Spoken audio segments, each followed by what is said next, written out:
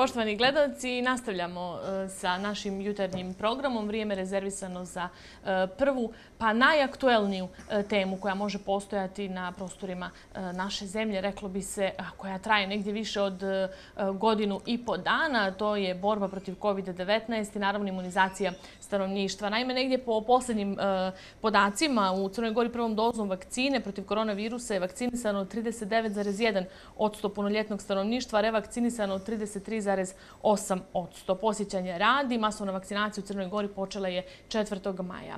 Da li su ove brojke ohrabrujuće?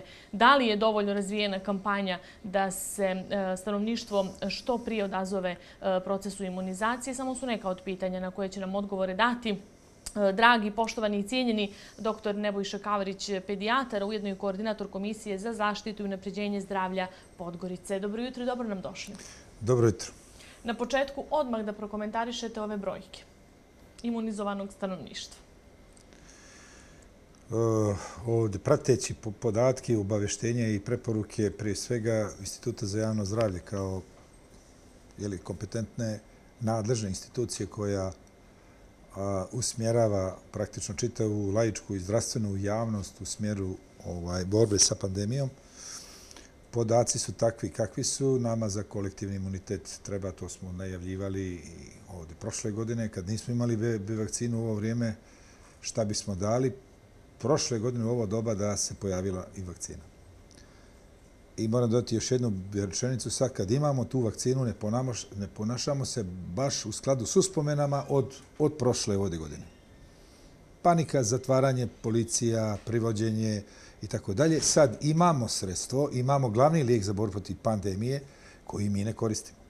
Podaci su ti koji su. Oni su ubjedljivi, e, hladno su objektivni, pri tome je vrelo upozoravajući, znači nama da dostignemo 85% ovaj, vakcinisanih, lako je pre, preračunati od ovih 30 i ne znam koliko procenata i koliko je to stotina hiljada ljudi koji bi trebalo u najkraćem roku da prime vakcinu koja postoji tu, koja je tu i dobit ćemo nove količine, je li ova ili ona, sve vakcine koje su odobrene u Evropskoj uniji, sve vakcine koje su odobrene kod nas iz trećih zemalja su prošle rigorozne kontrole, sve su ispravne, sve su kvalitetne, sve daju dobar imunitet i štite prije svega građane da se ne razbole ako i akviriraju, ako dobiju neku formu COVID-a, to bude blaga forma, svakako među novoinficiranim je svega ovaj da kažem, ili ukupno e, 98, skoro 99% novoinficiranih su ljudi koji nisu i vakcinisani. Te cifre dovoljno ubjedljivo govore. Treći ili kako ga neko zove, četvrti ovdje talas, dominantno obilježen delta sojem e, novog koronavirusa u svijetu i Evropi se neumitno širi i definitivno ne možemo mi biti nikakav izuzetak. Prvo kao mala zemlja, prolazna, propusna, transfer, puno vode turista. Znači, definitivno sve objektivne okolnosti su tu da bismo mi vrlo ozbiljno razmatrali kao građani, kao glave porodice, kao majke, kao roditelji, kao kolege, da zaštitimo sebe što prije i sve drage prijatelje, odnosno sve ukućane u svojoj porodici i starije i mlađe, i da bismo zaštitili sve ostalo i ukupno da bismo uh, uh mirnije dočekali ne jesen, boga mi nego kraj augusta, početak septembra, da ne bismo opet imali problema jer je situacija jasna, više stotina hiljada građana u Crnoj Gori je u riziku jer niti su vakcinisani, niti su preležali COVID u nekom domenu od 90 dana unazad da bi imali neki imunitet. Tako da uh, novi soj Delta imaće ovdje posla, ukoliko se proširi po Crnoj Gori, imaće ovdje posla, jer nije prevelika razlika što se tiče cifri, opterećenja zdravstvenog sistema, smrtnosti, između 650.000 kada je čita populacija bila izložena u strahu i sada kad ovih 31, 32 do 35 ostostavnika su vakcinisani, pa spokojno ovdje čekaju kontakte, spokojnije E, i kraj avgusta spokojnije idu na odmor, spokojnije izlaze i tako dalje. Čak su i puno disciplinovani, vakcinisani u primjeni drugih mjera od ovih koji su nevakcinisani. Čuvena pozicija e, prosječnog, e, prosječan profil građana koji se nije vakcinisao je neumitno višak samopouzdanja, neopravdanog i manjak znanja. Znači, manjak svako ko je zainteresovan, koji je pravilno informisan, koji je solidaran, koji brine o svojoj porodici, brine u, u ostalom o svom zdravlju, on je već ili se vakcinisao ili je već na putu ovde planira da se vakciniše ovih, ovih dana. Nerijetko svako od ljekara, bilo gdje bio na poziciji, trenutno ovo i ono, vi ste doktori kod kuće i van kuće i kad ste u firmi koje ste radili, kad ste na novom radnom mjestu, kad ste na univerzitetu, vi ste ljekar, imate obavezu da promovišete, ukoliko pratite literaturu, naučnu, ukoliko ste informisani i upoznati, vi ste u obavezi, a i osjećate obavezu kao profesionalac da promovišete svaki lijek koji spašava ljudske živote, pa time i vakcinaciju. I ovaj zato ne gubimo vrijeme, ja bar koliko znam sve kolege, bez obzira gdje su, šta su opredeljenja, orientacije, da uvijek gdje god uđu, prodavnica, na televiziju kad dođu, kad sretnu komšije, kad šetaju u kafiću, na plaži, obavezno priupitaju da li ste vakcinisani i utrošimo nekih 5 do 7 minuta razgovarajući, ne ubjeđujući, nego razgovarajući sa ljudima i te zadnje male dileme koje su često vrlo ovdje bizarne, gledamo da otlonimo i da poslije toga makar još nekoliko, pet, šest ili cijela ovdje porodica ljudi kad se vrati negdje gdje je u poziciji se vakciniše i time opet smanjujete mogućnost da se oboljenje e, širi i da uzima danak u oštećenju zdravlja, dugotrajnom, kratkotrajnom ili smrtnom ishodu, što, e, nažalost, ovaj put širom Evrope i svijeta se pojavlja i kod djece, i kod adolescenata, i kod mladih ljudi. Tako da, ovaj, pitali ste me za cifre, mislim da dadoh malo širi odgovor, ali otprilike sam, čini mi se, ovaj, pogodio u jasno, metu. Jasno. E, koliko je opravdan strah od vakcine? E, ako izuzmemo e, pa negdje u neku ruku i dovoljno informisanosti, negdje čitanja, pa eto da neko ima neki određeni strah od te vakcine, da se možda plaši da će ta vakcina izazvati nešto što ne bi možda trebalo? Nikako ne treba pocijeniti informisanost ovdje građana, niti njihovu ovdje pamet, definitivno. S druge strane, nikako ne možemo pocijeniti, makar profesionalci koji se razumiju, da kažem, ne možete pocijeniti uticaj mas medija, koji su za razliku, mi vrlo često, posebno uvaženi cijenjeni profesor Novica Vujošević, koji je član i komisije, jedan od dojena epidemiologije i u ovom regionu Evrope, ne samo u Crnoj Gori ili bivšoj Jugoslaviji, vrlo često govorimo da ovaj nije vrijeme variole vere kad ste vi vakcinisali za nepunih nekoliko nedelja, skoro 21 milion stanovnika.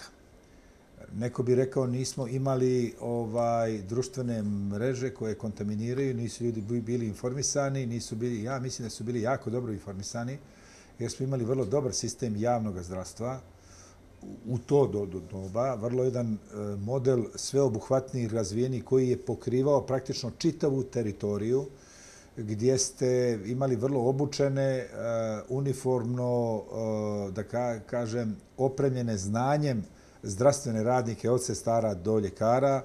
Imali ste čitav sistem koji je funkcionisao vrlo koherentno i ovaj da kažem da se građani razlikuju od tada i sada prvo po stepenu sloboda, naravno, od definitivno po stepenu informisanosti.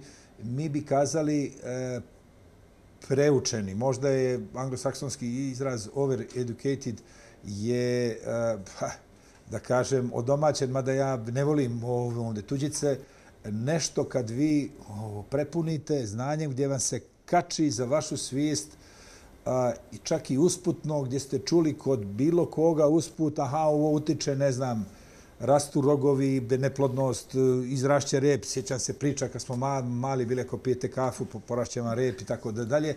Meni kao profesionalcu liči to na to, ali ništa ne predstavlja ako je akademska zajednica jedinstvena u stavu, definitivno jeste, nebitno samo da li su to epidemiolozi koji najviše znaju o ome, infektolozi, pulmolozi, pedijatri, svi ljekari, stomatolozi, farmaceuti, ogromna armija socijalnih radnika, komunalnih radnika, komunalnih i policajaca, ljudi koji, koji se susreću sa građanima, padu uniformisanog dijela crnogorskih javnih ovdje službenika, vojske, policije, vatrogasaca i tako dalje.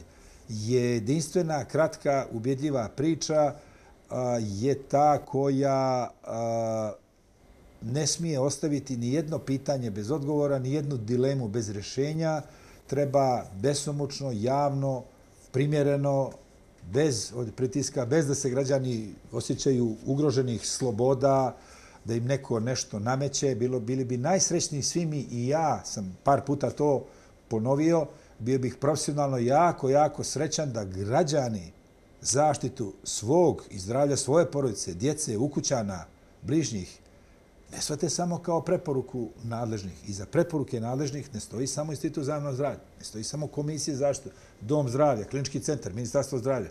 Stoji svjetska naučna zajednica u liku svjetske zdravstvene organizacije, UNICEF-a, međunarodnih autoriteta, agencija, znači u vremenu procvata nauke i tehnologije, mi se vraćamo, možda mi je komšinica stana kazala neka njena što ona ide kod nje da kupuje ne znam šta, ovaj, joj je prenijela posle vakcine, muž je otpočeo da, da leti, izrasla su mu krile, ne znam šta, mislim, e, treba da razlikujemo, treba da napravimo trud da zaista nekome sigurno neće pasti na pamet posle 32 godine radnog iskustva. Mog, drugih i kolega da ću izaći javno kod vas na cijenjenu i televiziju i pozivati građane ovaj kao ljekar, kao otac, kao sin, ne znam, neko ko je, čija je porodica sva vakcinisana, da ću pozivati na nešto što nije dobro za njihovo zdravlje, za njihovu ovaj budućnost, njih, njihove djece, svih njih, a pritom imate vrlo čvrčoste, ubjedljive razloge koji su vidljivi o broju novoinficiranih, o broju umrlih, nažalost, ubjedljive, najubjedljivije priče, ali vrlo često nemaju volju da govore o tome, e, govore ljudi iz porodica kojima su pripadali e, neki od 1700 preminulih građana Crne Gore za posljednjih godina po dana. Njih ne morate da objeđujete, ne morate da objeđujete ljude u intenzivnoj njezi koji su još pri svijesti, koji nisu još na respiratoru. Doktore, bili mogla sad vakcina da se da? Kasno je. Kasno je kad krene ovdje talas za sve ljude koji COVID eh, krene putem koji je naopak, nikad ne možete znati kako će kod pojedinog i pa-, pacijenta COVID izgledati. Od najblaže slike odjednom se pretvori u najtežu i nema što da krijemo. Drugog lijeka eh, nema, em je na početku, em je bezbjedan, em je do, dostupan. Manje važno što je ovdje besplatan za ovdje građane, ali ni, ni to mala stavka, ali ubjedljivo govori da svega 1,5-2 novo inficiranih su oni koji su se vakcinisali. I tih 1-2 osto su praktično u ogromnom broju slučajeva sa blagom kliničkom, kliničkom oslikom. Ako nisu dovoljni ovo razlozi iz usta ovog ovdje doktora, drugih ljekara u Crnoj Gori, šireg okruženja u Evropi, u svijetu, čini mi se da od javnih od službenika ili ovdje djelatnika koji nam pružaju usluge porodično, čini mi se da većih prijatelja ni pojedinac ni porodica nema ni u Crnoj Gori ni šire u svijetu od ljekara. Prvo izabranog ljekara, pa od, sestre medicinske, pa od psihologa, pa od fizioterapeuta, od, od svih koji ga savjetuju i mi imamo na dohvat ruke, vjerujte da je ovdje paradoks, vakcinu, a vakcinacija je u obimu koji smo profesionalno potpuno nezadovoljni jer, jer, jer bi htjeli da je, pored početnog entuzijazma nekoliko dana, kad smo očekivali, kad je bilo 7-10 hiljada datih vakcina dnevno, to je cifra da budemo jasni da bismo stigli da vakcinišemo se, da počnemo da živimo ovdje normalno i da preteknemo treći ovdje talas ili već koji, znači da se da dnevno kad čujemo cifre vakcinisalo se 7, 8 hiljada, 10 hiljada ljudi, to su cifre koje za kratko vrijeme garantuju kompletnu imunizaciju, pa da sačekamo mirno da vidimo da li će epidemija konačno splasnuti. Sljedeće ovdje godine, ove svakako neće. Kako će se kretati to? Neke navike koje smo imali prije, morat ćemo vjerojatno da zaboravimo za uvijek tu našu intimnost. Gledamo po svijetu, smo se uvijek ovdje čudili kako se ljudi mm, ne ljube kao mi pet puta dnevno kad se susretnemo. Neko će reći to je dobra osobina, neko će reći ne, ako volite nekoga i ako ga cijenite, ne morate se ljubiti s njim svakih pet minuta i time zaista stvarati optimalan put za prenos ne samo ove infekcije, nego svih ostalih. Kad sjetimo kad je grip, kad je epidemija i tako dalje. Neke navike će sigurno ostati ovaj kondicije zašto zdravstveni radnici imaju, oni se spremaju cijelog života za ovo. Rade cijelog života to. Bila je epidemija, ne, ne, ne bila, idu u dom zdravlja da rade cijelog života, idu u bolnicu da rade cijelog života, a čini se ponekad da više kondicije ima zdravstveni sistem ili zdravstveni radnici nego građani. Razumljivo je jer ovaj oni be ne rade to, njima nije osnovni ovdje posao, njima je ovdje dosta ovdje doktora i ovako i onako, niko ne, ne voli da sretne ovdje doktora, sen kad je zdrav, onda je lijepo, ali jedina struka koja ne može da, da s ove druge građe, ajde svratite kod nas na kafu, naravno to je kao za razliku od svih ostalih, ovaj čini mi se, neću ponavljati priču, ali je vrlo poučna ovaj, iz pijeteta prema, ipak prema zdravstvenim radnicima, nekako su se svi drugi ljudi navikli da je COVID tu i da oni su prešli na neke svoje, vratili se u normalu, mi ne. Mi se ni, nismo vratili iz pijeteta i prema umrlima, kojih je 1700, i iz pijeteta prema zdravstvenim radnicima, kojima je ovo druga godina u vanrednim okolnostima. Više strpljenja u komunikaciji sa zdravstvenim radnicima, više poštovanja prema njima i u komunikaciji i telefonom i drugim, jer oni to rade već drugu hode godinu. Nisu to neki drugi, to su isti ljudi. Uz blago, malo povećanje, smanjenje, be na žalost e, sa kolegama koji više nisu među nama, koji su platili čak i glavom borbu s covid da bi spašavali ovo druge ljude. Ako nekome nije dovoljno sve ovo što sam prije kazao, onda bar zbog toga uvažite, primite savjet, vakcinišite se, posao mali što ćete nama smanjiti obim ovog posla. Najvažnija stvar što ste sebe zaštititi. Sačuvati svoje zdravlje, u krajnjoj liniji život sebe i svojih naj, najbližih. Ja se nadam da će i posle ove emisije kod vas jedan određeni ne mali broj ljudi pohrliti na o, punktove za, za vakcinaciju koji su dostupni. E, gužvi nema.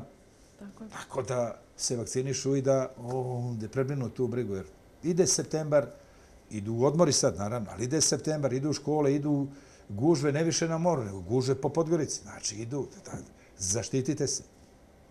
Nemate drugi put. Najlakše je. A boli koliko ujed o, malo jačeg i komarca. Eto, to je to. Ništa drugo.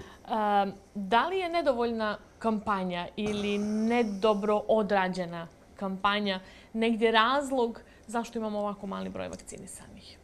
Evo, ja sam, čini mi se, pobrojao dosta veliki broj. Jasno. Naravno, na način kako pedijatar to objašnjava, priča, uvodi vas u priču. E, nema tu puno dilema da neko procjenjuje, ocjenjuje svaka kampanja. Mi, mi to ne volimo u zdravstvu da zovemo kampanja, nešto što traje ovdje, ovdje kratko. Ovo treba bude kontinuirano svaka kampanja je uspješna kad pogledate cifre ili nije uspješna kad imate. Ako je postigla zacrtan cilj kakva je god, ako, je, ako ste postigli cilj da za najkraće vrijeme vakcinišete do 85%, to je to.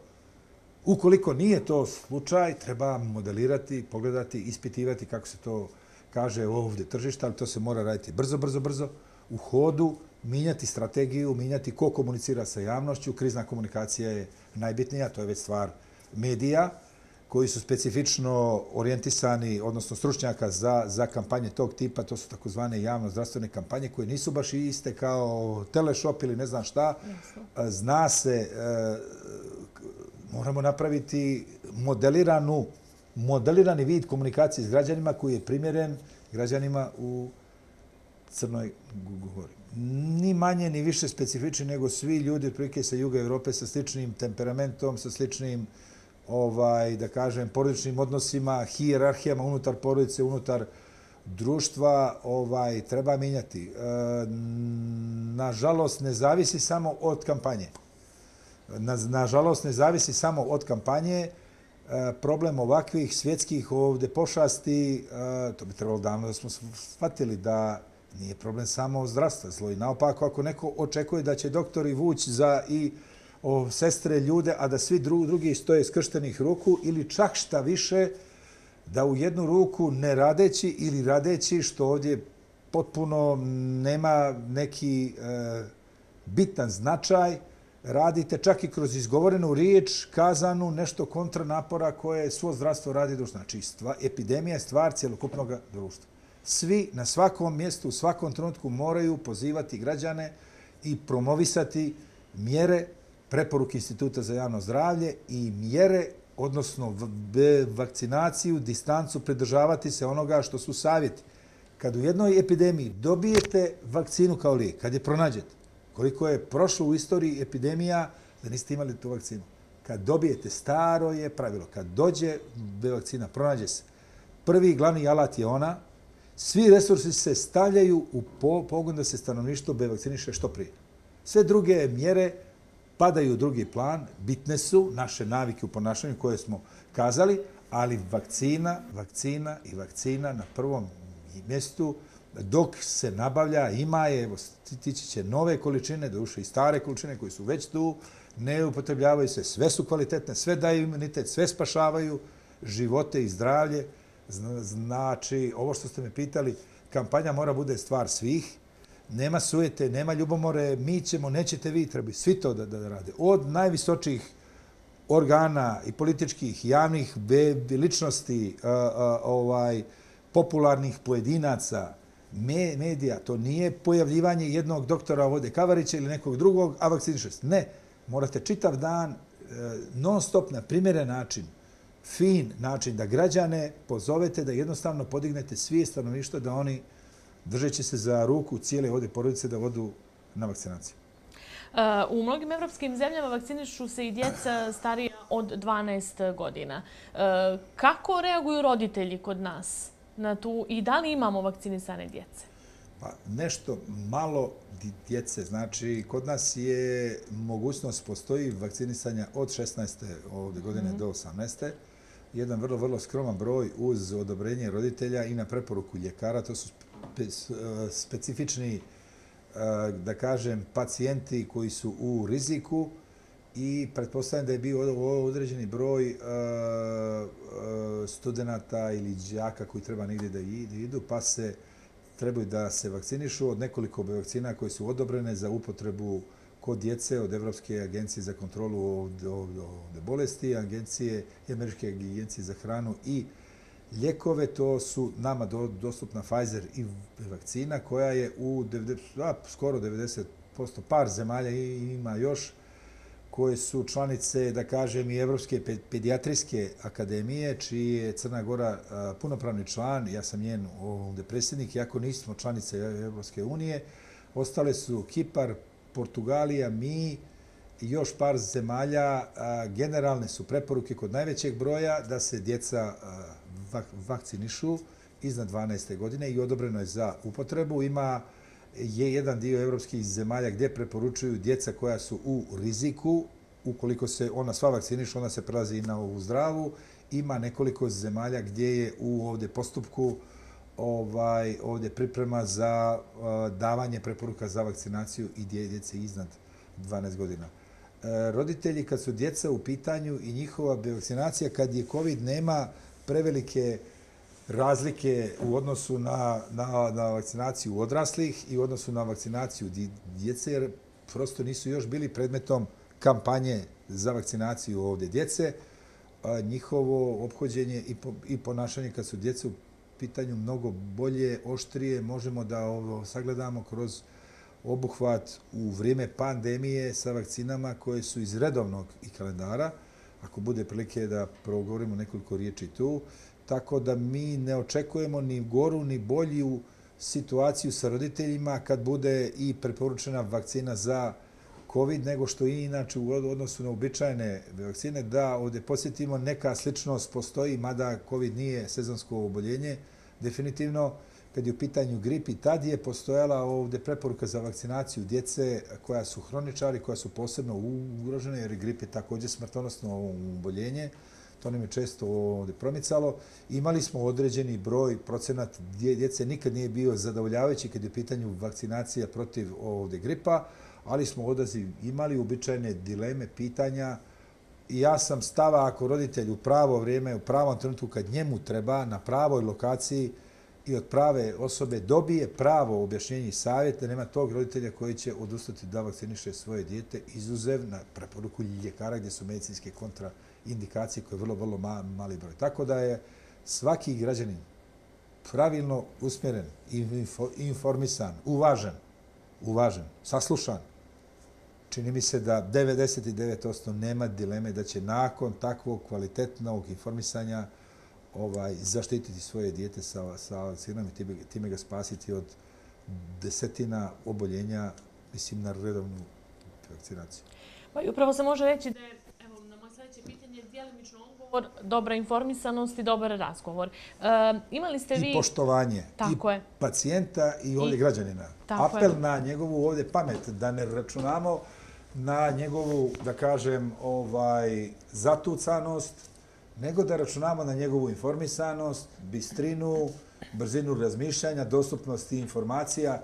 To je građanin s kojim pričamo. Nije građanin od, od prije 30 godina, koji se bojao sistema, bojao se ovog, bojao se sve, svega, nije bio pravilno informisan, o, opet uz onu zadršku da kažem da ovaj preinformisanost zna, znači u principu ovaj prihvatanje kontaminiranih, krivih, fake informacija s interneta, kojih je, nažalost, bezbroj, e, generalna od preporuka da se koriste ovlašteni, kvalifikovani, dobri sajtovi agencije za Evropske agencije za ljekove, kod nas sajt Instituta za javno zdravlje, Doma zdravlja, Kliničkog centra, ovaj, ministarstva, znači drugih nadležnih institucija, a i svijeta, Američka agencija za ljekove i za za hranu, Evropska agencija CDC za kontrolu ovde bolesti, referentne asocijacija Američka pediatrijska akademija, naš sajt asocijacije za preventivnu pediatriju gdje ćete naći kvalitetne informacije i rasprave javne na dileme, naučne dileme.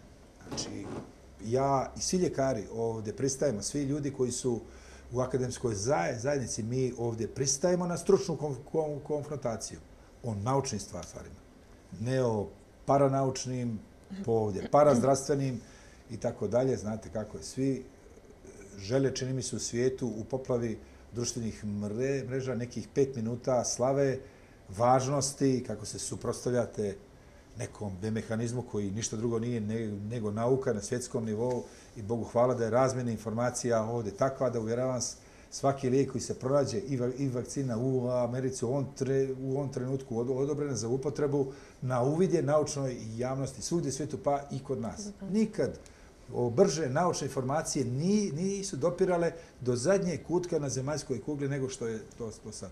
Umjesto da koristimo tu ovdje blagodet, nama se čini da ponekad ove kontaminirane informacije ovaj prave sigurno mnogo veću štetu nego što korist imamo od naučno dokazanih lijekova koje čuvaju živote i zdravlje. I upravo ono što sam htjela reći, e, na osnovu vašeg dugogodišnjeg iskustva i rada sa djecom i sa roditeljima i sa, ajde ja ću potrebiti riječ teorijom zavjere iz ovog ugla i iz ovog ugla, e, kada je u pitanju redovna vakcinacija, imali ste i tu problema i sami ste negdje kazali u vašem izlaganju. Kako ste rešavali generalno te probleme? Znamo da je bio problem sa čuvenom i famoznom MMR vakcinom radili smo sve ono što stoji u principima i promocije, znači i prevencije i promocije zdravlja. To su dva možda najvažnija mehanizma u ukupnom zdravstvu i medicini, da promovišete naučne istine, do duše e, saopštene razumljivim rječnikom, bezanimljivim za građane. Ja sam mogao da dođem danas sa laptopom, sa knjigama, od kojih najmanji učbenik na medicini je 3-3,5 hiljade strana. Znači da dođem i da besomučno sve ponavljam, tabele, cifre, građani će imati strpljenja iz obzira mog radnog iskustva, godina, ne, ne znam čega da saslušaju. E, nekad je to bilo 3 do 5 minuta, sad, boga mi više i nije. Znate kako je? Djeca kažu da je Facebook za starije, zato što je onako opšteni sport, da je Instagram, pa TikTok, znači sve društvene mreže, to je par rečenica, slika, fokus, nešto što treba. Morate da saopštite razumljivo i interesantno, ubjedljivo, ovaj, pri tome da nikako, nikako, nikako ne računate na, na, na maloumnost publike i tako dalje. Ne, ne, ne, ne. Morate biti htjeli mi to ne kazati ili ne, partneri sa građanima, sa pacijentima, dati im priliku da pitaju, da kažu, mm, izuzeo bih zlonamjerne, željne, slave, da ne upotrebim neku goru riječ, biznisa za prodaju e, ljekova, takozvanih nadrib ljekova, bajalica i tako dalje, što je uobičajeno, ne na ovim prostorima, nego svugdje u svijetu. Ali građane ako uvažite, e, građani na svakog pojedinačno, posebno roditelje, koji su jedan potpuno, potpuno, jedan nama vrlo važan svijet, vrlo važan e, partner u liječenju djece, ovaj, nikako se ne ovdje, oh, takmičimo sa roditeljima, roditelj je roditelj, pedijatar je pedijatar, Bogu hvala da je ovo tako. Ne moramo biti prijatelji, ali obično se tokom prvo djete pa drugo, treće djete uspostavite prijateljski odnos, čak i prijateljski van ovde posla, što bi ovdje trebalo da bude ovdje pozitivna stvar. Negativna je stvar, ako postanete sa nekim prijatelj, onda je manje fokusiran i koncentrisan, što ne bi smjelo da se ovdje dogodi. Posebno ako elemente prijateljstva iz običnog života prenesete na stručnu priču i prevedemo na našu maksimu čuvenu, lako ćemo. Imamo kad neće mene to da dovati, to je nekome drugome, to se nekom drugom ovdje događa i da se tu negdje izgubimo. Pazite, u ordinaciji morate da vodite računa za današnje roditelje. Posebno dolaze vam veći roditelji milenijalci, znači koji su rođeni u trećem milenijumu, znači posle dvije, dvije hiljite godine ili godinu neku prije toga. Oni su opet posebna kategorija informisanih informatički vrlo obdarenih, komunikativnih, koji su na, na mrežama, koji komuniciraju, koji su na grupama, na Viber grupama, interesnim, te roditelji ovi, te roditelji oni, razmenjuju informacije, iskustva, pitaju. Imate njih ispred um, sebe. Sjednete, imate sve na umu ovo što sam kazao i polako krenete strpljivo dok ne razjasnite svaku stvar morate se pripremiti da, da će biti pitanja koji nisu iz domena medicine, koji znate, koji su iz domena kosmičkih kretanja, energija, zavjera sa Marsa, morate prihvatiti su Nikad sa posmihom. Nikad, nikad sa posmihom. Sve što vam roditelj ka, kaže, zadnja rečenica, zadnji zarez, uzdah na kraju one priče može bitan da bude za djete. Čuvena, najveća najveći značaj, najznačajnije rečenice koju majka može u pedijatrijskoj ambulanti da vam kaže, e, iako ste vi pri tome napravili sve nalaze, pregledali dijete, sve u redu, majka ponovo vam kaže, meni nešto dijete nije u redu. Morate da kopate do kraja i obično pronađete, jer majka nepogrešivo osjeća da sa djetetom nešto nije u redu. S tim roditeljima vi razgovarate i morate im pružiti svu informaciju, spostaviti prijateljski, ali odnos gdje ste vi, gdje zadržite ulogu pedijatra, svoju obavezu, oni da budu roditelj, dovoljno je. Oni da pripaze dijete kao roditelj, vi da pomognete njime pripazite dijete kao doktor i mislim da tu nema, nema. Ja, meni se nikad nije dogodilo u mojih 32 godine karijere, što kao pedijatra, što kao rukovodioca jednog javnog zdravstvenog sistema, nikad mi se nije dogodilo da nakon razgovora sa roditeljima dijete ostane nevakcinisano. Ja mislim da je to prije slučajnost nego, nego što je nekakva apsolutna ubjedljivost moja ili možda sastav ili profil tih roditelja. Mislim da ovo što sam ja rekao možda kaže svaki pedijatar u Crnoj Gori, svaki pedijatar u svijetu, ovaj da ako imate pravilan odnos i roditelja koji je jeli, koji je kompetentan u svakom drugom smislu da nema dilema i da ti roditelji uvijek vakcinišu svoju djecu. Mislim da ste vi htjeli da pitate u vrijeme pandemije šta se događa sa veliki pad obuhvata redovnim B vakcinama gdje bi korijene e, tražili vjerovatno i u nekim drugim stvarima kad je u pitanju uopšti strah i promijenjena atmosfera, vanredna situacija. Moram kazati da agencije Ujedinih nacija u Crnoj Gori daju veliku, veliku podršku kad je vakcinacija u pitanju, posebno kod djece. Posebno bih istakao tu podršku koju UNICEF kao dječji fond na svjetskom nivou između ostalog u fokusu ima sem dječjih prava, zbrinjavanja i tako dalje i njihovu zdravstvenu zaštitu jako puno pomaže i pozitivno utiče na proces vakcinacije kod nas.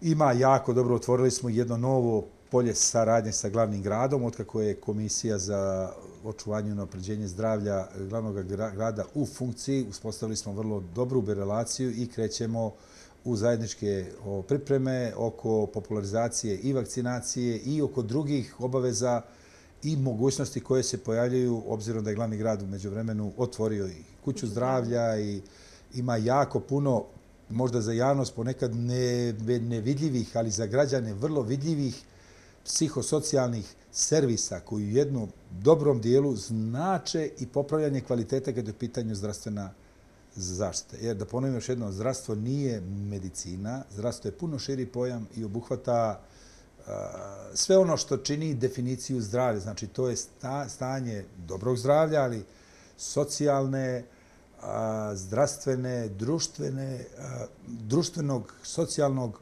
blagostanja. Jednom riječi čovjek je zdrav kad je zadovoljan. Dodao bih i srećan. Naravno, uz medicinsko zdravlje, tu su i sve druge stvari. Da je zadovoljan sa porodicom, da je zadovoljan sa radnim ovo statusom, sa ostvarivanjem sloboda. Da li mu je ovdje danas ovaj, moj otac je danas vrlo ovdje nezadovoljan kod kuće, jer sam bio danas, vidio sam da mu je, da mu je ovdje paradajz valjda u šoku od sunca ovaj, uh, osušio se i onda smo danas raspravljali o, o tome u sklopu prije toga za njega vrlo bolne teme uh, ovdje požar na ovdje Gorici. On kao ne mogu da se ne osvore. Ja mislim da sam prvi put kod njega kao kod nekadašnjeg gradonačelnika kome je Gorica svim tim generacijama bila pojam mladosti, simbol grada, simbol svega. Mislim da sam prvi put krajičkem oka primetio suzu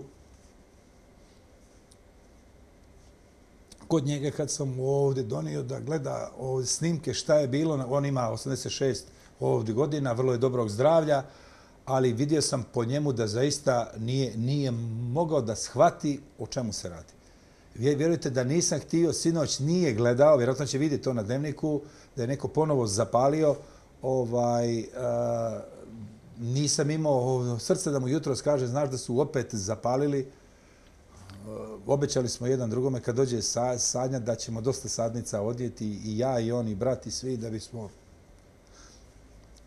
Eto, znači čovjek je nezdovoljan kroz sve te druge stvari eh, eh, zdravlje i zdravstvo ovaj i vakcinacija djece su jedna lijepa tema. Na, nadam se nakon ispitivanja UNICEF-a kad budemo saznali i mi kroz ankete šta je pravi razlog, šta je specifičnost u Crnoj Gori, sleduje posle toga kvalitetna, neću reći kampanja, nego promocija, informisanost. Nadam se kad se smanji strah od pandemije da će se vratiti i vakcinacija koja, vidio sam e, najnovije podatke, svugdje u svijetu imamo pad redovnih vakcina, ali moram kazati, moram to naglasiti da je Crna Gora što se MMR-a tiče u regionu, vjerovatno smo najgori po obuhvatu. Svugdje je pad, svugdje, tu ako nemate iznad 85%, kao da nemate, nemate ništa.